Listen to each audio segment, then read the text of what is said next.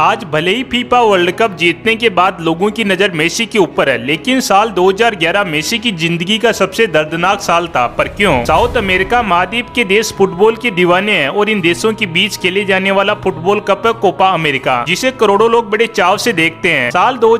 में मेसी के पेलेंटी चूटने की वजह ऐसी अर्जेंटीना कोपा अमेरिका का क्वार्टर फाइनल हार गया फुटबॉल को भगवान मानने वाले देश में ये संगीन हादसा था मैच के बाद मेसी देश के दुश्मन बन गए उनकी खूब आलोचना हुई न्यूज चैनल पर लोगों ने कहा कि मेसी को देश से प्यार नहीं है उन्हें देश छोड़कर चले जाना चाहिए ये तो केवल ब्रांड इंडोस्टमेंट के लिए खेलता है माहौल इतना खराब हो गया की माँ और भाई आरोप सरपरे लोगो ने हमला किया इसके बाद इनके घर आरोप भी हमला हुआ मेसी के मोबाइल आरोप जान ऐसी मारने के लिए कॉल और मैसेज आने लगे पर इतने भारी स्ट्रेस में भी मेसी अपने आप को कैसे संभाले बस यही जानने के लिए बने रहना वीडियो के लास्ट तक मेसी की फैन फॉलोइंग का अंदाजा आप ऐसे लगा सकते हैं कि अर्जेंटीना में उनकी वजह से एक नियम बनाना पड़ा कि वहाँ पर माता पिता अपने बच्चों का नाम मेसी नहीं रख सकते क्योंकि वहाँ के विशेषज्ञ इस बात से डरने लगे थे कि आने वाले कुछ सालों में मेसी नाम के बच्चों की संख्या इतनी ज्यादा हो जाएगी कि देश में बच्चों की पहचान का बहुत बड़ा संकट पैदा हो जाएगा वैसे मेसी का नाम और फुटबॉल में उनके रिकॉर्ड के बारे में आजकल हर कोई जानता है लेकिन मेसी को मेसी बनने में जिन कठिनाइयों का सामना करना पड़ा उसे कोई नहीं जानता हाल ही में लियोलन मेसी रोनाल्डो को पछाड़ते हुए दुनिया के दूर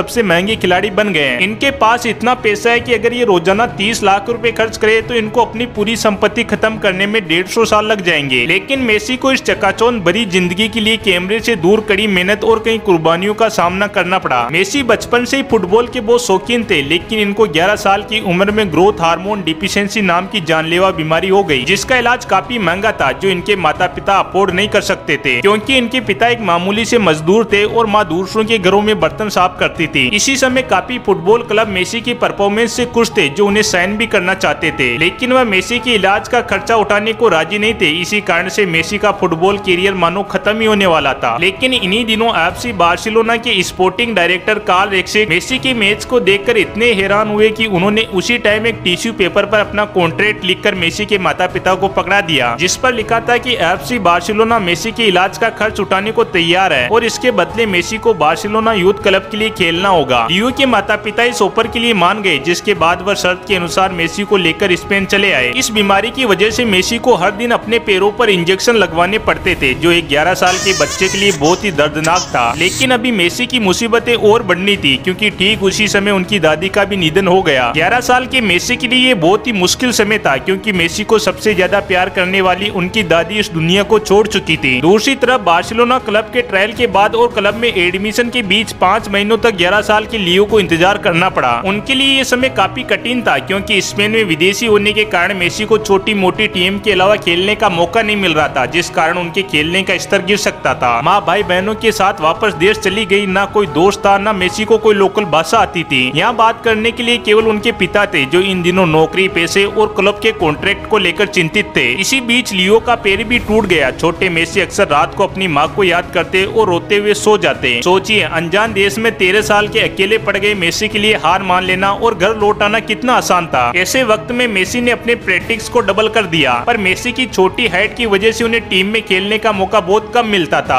और अगर मौका मिल भी जाता था तो उनके साथी उनको बॉल पास नहीं करते थे लेकिन मेसी तो मेसी थे वह जैसे तैसे एक बार बॉल को ले लेते और फिर पंद्रह पंद्रह मिनट तक उनसे कोई बॉल छीन ही नहीं पाता था धीरे धीरे मेसी का जादू चलने लगा और ऐसे लगने लगा की उनके रहते हुए उनकी टीम को कोई हरा ही नहीं सकता एक इंटरव्यू में मेसी बताते हैं की उन्हें एक बार एक टूर्नामेंट में हिस्सा लेना था लेकिन उनके विरोधी खिलाड़ी उनको बाथरूम में लॉक कर दिए हाफ टाइम तक उनकी टीम दो तीरों से पीची थी तब मेसी बाथरूम की खिड़की का शीशा तोड़कर मैदान पर पहुंचे और उसके बाद उनकी टीम ने वह मैच तीन दो से जीत लिया जिसमें टीम की तरफ से तीनों गोल मेसी ने किए मेसी की काबिलियत को देखते हुए 2004 में स्पेन ने मेसी को अंडर ट्वेंटी टीम में खेलने की ऑफर दी लेकिन मेसी ने ये ऑफर ठुकरा दिया और अपनी टीम अर्जेंटिना को फीफा के इसी यूथ चैंपियनशिप में जीत भी दिलाई इसके बाद जो हुआ वह इतिहास बन गया मेसी ने बत्तीस साल की उम्र तक तीस ट्रॉफियाँ जीती है यही नहीं मेसी को सबसे ज्यादा बार दुनिया का सबसे बेहतरीन फुटबॉलर भी चुना जा चुका है मेसी ने अपने फुटबॉल कैरियर में अब तक एक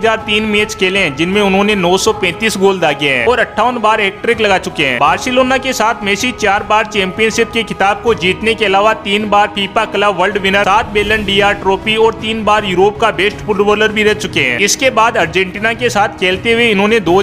में गोल्ड मेडल भी जीता यही नहीं मेसी ने दो में इक्यानवे गोल दाकर ओल्ड टाइम वर्ल्ड रिकॉर्ड भी तोड़ डाला इसी बीच मेसी को दुनिया के अलग अलग क्लबों ऐसी सबसे महंगे महंगे ऑफर आए जो उन्हें मुंह मांगे पैसे देने को राजी थे लेकिन मेसी बार्सिलोना के साथ हमेशा वफादार रहे शायद इसकी वजह ये भी रही होगी कि बार्सिलोना ने मेसी का साथ तब दिया था जब मेसी अपनी जिंदगी के सबसे बुरे दौर में थे हर बार गोल करने के बाद मेसी अपने दोनों हाथ हवा में उठा देते हैं ऐसा वह अपनी दादी को थैंक यू करने के लिए करते हैं जिनके वो काफी करीब थे अब वापस वीडियो के पहले पार्ट में आते हैं कि बड़े बड़े खिलाड़ियों को हारने के बाद कैसा लगता है एंडी वेस्ट ने मेसी पर किताब लिखी और दुनिया के टॉप खिलाड़ियों के साथ रहकर उन पर रिसर्च रिसर्च की वो कहते हैं कि हर टॉप खिलाड़ी को जीत बहुत ही पसंद होती है चाहे वो कोहली हो रोनाल्डो हो सुनील छेत्री हो कोई भी हो किसी को भी हारना पसंद नहीं होता बार्सिलोना के स्पोर्ट साइकोलॉजिस्ट ये भी कहते हैं कि जब भी कोई टॉप खिलाड़ी हारते हैं तो उन्हें बहुत दुख होता है वो ठीक वैसा ही महसूस करते हैं जैसे उनका कोई करीबी इस दुनिया को छोड़कर चला गया हो अब आता है वीडियो का सबसे इंटरेस्टिंग पार्ट इक्कीस मार्च 2015 को जोसे मेंगोल प्लेंको नाम का एक इंसान ट्विटर पर ट्वीट करता है कि 21 मार्च 2022 34 साल के लियो मेसी वर्ल्ड कप जीतकर दुनिया दुनिया के सबसे महान खिलाड़ी बन जाएंगे आप सात साल बाद मुझसे मिलिए ट्विटर पर इस ट्वीट को एक लाख सत्तर हजार ऐसी भी ज्यादा बार रिट्वीट किया गया है जिसमे श्री मेसी का मजाक उड़ाया गया है लेकिन सात साल बाद अठारह दिसम्बर दो को सारे लोगों के मुँह बंद हो गए जब मेसी फीफा वर्ल्ड कप 2022 के विश्व विजेता बने आई होप आपको वीडियो पसंद आया होगा अगर वीडियो पसंद आया तो वीडियो को लाइक कर देना और चैनल पर नए हो तो चैनल को सब्सक्राइब करके बेल आइकन प्रेस कर देना साथ ही आप अगला वीडियो किस पर चाहते हो ये कमेंट्स में बता देना